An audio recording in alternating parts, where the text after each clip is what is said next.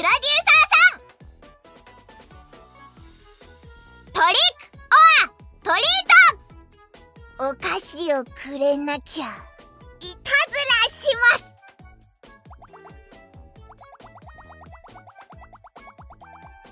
ちょっと早いかもしれません。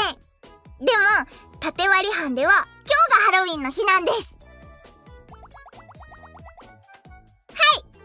低学年の子たちをお家まで送りながらみんなのお母さんにたくさんたくさんたーくさんお菓子をもらって帰ってきました。なのでプロデューサーさん。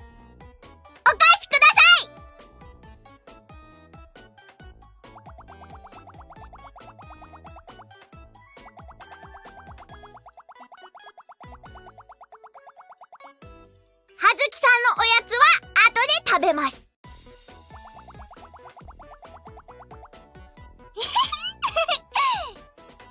じゃあお菓子をもらえなかったのでいたずらします。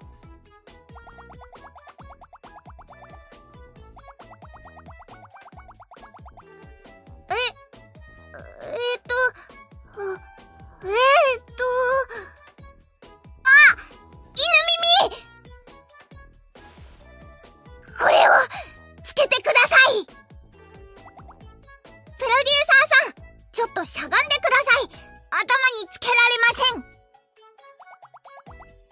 はい。これが私のいたずらです。覚悟してください。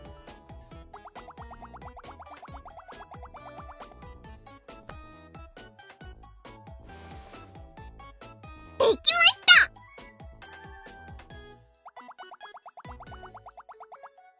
私とお揃いで。